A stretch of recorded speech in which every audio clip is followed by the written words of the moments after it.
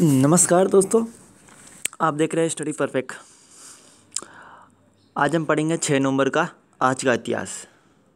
उससे पहले मैं आपको बता दूँ, अभी तक आपने हमारा चैनल को सब्सक्राइब नहीं किया तो दोस्तों सब्सक्राइब कर लीजिए। चलो शुरू करते हैं वीडियो। आज के इतिहास में महत्वपूर्ण घटना में क्या क्या है दोस्तों? बहुत ही इंपॉर्टेंट है, जिसमें हर बार क्वेश्चन आता रहता है अपने। तो आज का इतिहास पढ़ने के दो फ़ायदे हैं दोस्तों। एक तो अपना इतिहास भी याद होता है, हमारा इतिहास में क्या क्या गलती हुई थी और क्या क्या घटनाएँ हुई थी। और उसका संबंध अपनी कॉम्पिटिशन एग्ज़ाम में कैसा संबंध है? सीधा सीधा क्वेश्चन पूछा जाता है, मीर कासिफ का। पहले मीर कासिफ कहाँ था? बंगाल में था। बंगाल में उसको भगा दिया था अंग्रेज़ों के खिलाफ। फिर वो चला गया था अपने पटना, बिहार के उधर। फिर वहाँ पर था तो ये सत्रह सौ तिरसठ में ब्रिटिश फौज ने मीर कासिम को हराकर पटना पर कब्जा कर लिया था। 1813 1813 में मेक्सिको ने स्पेन से स्वतंत्र, स्वतंत्रता हासिल की थी। अठारह में स्पेन ने डोमिनियन गणराज्य की स्वतंत्रता किया। 1860 में अब्राहम लिंकन अमेरिका के सोलहवें राष्ट्रपति चुने गए। दोस्तों, आपने अभी तक हमारे एक नवंबर से वीडियो देखे होंगे। उसमें एक, दो, तीन, चार, पाँच छः हर आगे वाले दिन पर राष्ट्रपति बनता है। मतलब वो नवंबर के महीने में सब पूरे पर राष्ट्रपति बनते हैं। आज छः तारीख को ये बने, कल पाँच तारीख को एक और बने थे। ये जो बने हैं, अब्राहम लिंकन, सोलहवें राष्ट्रपति थे अमेरिका के। मैं से अमेरिका की बात कर रहा हूँ दोस्तों, ठीक है? अब 1903 में अमेरिका ने पनामा के स्वतंत्रता को मान्यता प्रदान की थी।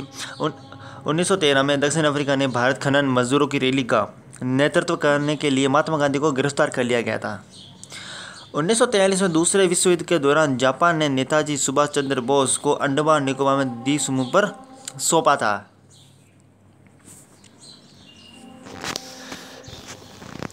दोस्तों, उन्नीस में यूनान में गृह युद्ध समाप्त हुआ। गृह युद्ध मतलब अपने ही राज्य राज्य, अपने देश के अंदर राज्यों में गृह युद्ध छिड़ जाना या किसी चीज़ की मांग करना, अर्थव्यवस्था का खराब होना या कोई नया स्वतंत्र राज्य को देश घोषित करना या आपस में युद्ध होता। है उन्नीस सौ बासठ में राष्ट्रीय रक्षा परिषद की स्थापना की गई थी। दोस्तों, कई बार पूछा जाता है, राष्ट्रीय रक्षा परिषद की स्थापना कब हुई? उन्नीस सौ बासठ में हुई थी, जब चीन का युद्ध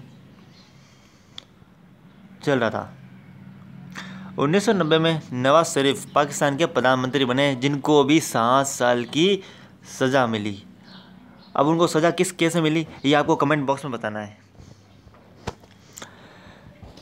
और इनकी बेटी को भी मिली थी। उन्नीस सौ चौरानवे में अफ़गानिस्तान के बुरहानी दीन रूबानी गुट द्वारा संयुक्त राष्ट्र अफगान साथी योजना का स्वीकृत किया था। उन्नीस में सियाचिन में युद्ध विराम का भारत का प्रस्ताव पाकिस्तान को मंजूर नामंजूर किया गया था, दोस्तों, नामंजूर किया गया था। यह सियाचिन हमेशा यहाँ कारगिल युद्ध भी किया गया था, क्योंकि यही रास्ता है जो पाकिस्तान में युद्ध लड़ने का है, और ये आता है जम्मू कश्मीर में। सियाचिन दर्रा भी है, दोस्तों।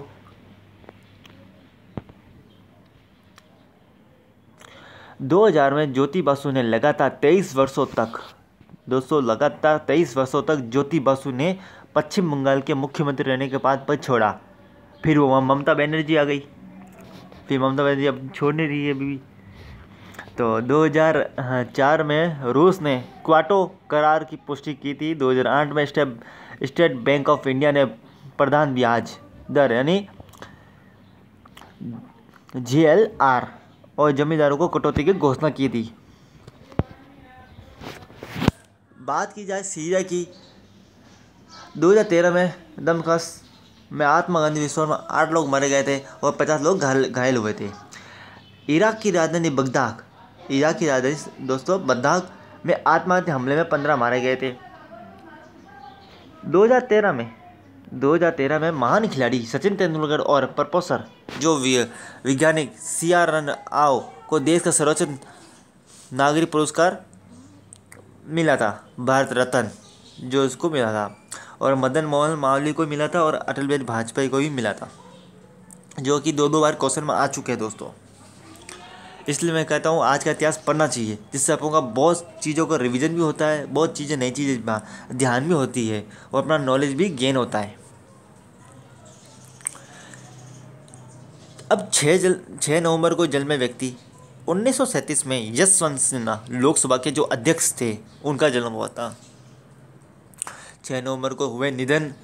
2010 में सिद्धार्थ शंकर राय, पश्चिम बंगाल के भूतपूर्व मुख्यमंत्री, कांग्रेस के वरिष्ठ नेता भी है ये। ये इनका निधन हो गया था। उन्नीस सौ में राजीव कुमार हिंदी फ़िल्म के नेता थे, अभिनेता थे, दोस्तों, अभिनेता। छः नवंबर के महत्वपूर्ण अवसर एंड उत्सव, अंतर्राष्ट्रीय रेड क्रॉस दिवस। आप सब देख रहे होंगे दोस्तों कंटिन्यू एक तरह से चल रहा है। ये रोड क्रॉस दिवस सप्ताह भर चलता है दोस्तों। ओके दोस्तों? दोस्तों, आज एक खास न्यूज़ सुनाने वाला हूँ मैं।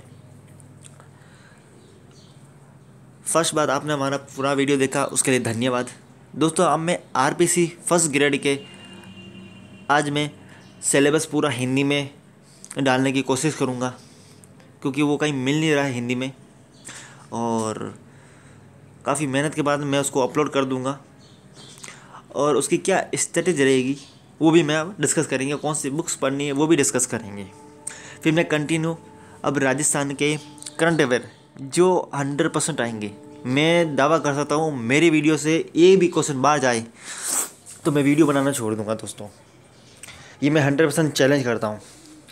क्योंकि मुझे अपना अनुभव बताता है कि मैंने दो बार आर एस दो बार आई एग्ज़ाम दिया, उसमें मैंने हंड्रेड परसेंट जो जो मैंने पढ़ा था, सब कुछ आया दोस्तों।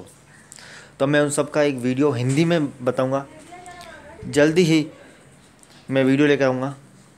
और आप सबको दिवाली के एडवांस और दोस्तों, अगर आपको हमारा चैनल और वीडियो अच्छा लगा है तो बहुत बहुत धन्यवाद वीडियो देखने के लिए। चैनल को लाइक कर दिए दोस्तों, एंड सब्सक्राइब करना ना भूलिए। और बेल आइकन को दबा दीजिए, जिससे हमको आने वाली वीडियो आपको, आप तक पहुँच जाएगी। जैसे मैं अपलोड करूँगा आप तक पहुँच जाएगी। चलो मिलते हैं नेक्स्ट वीडियो में। Okay bye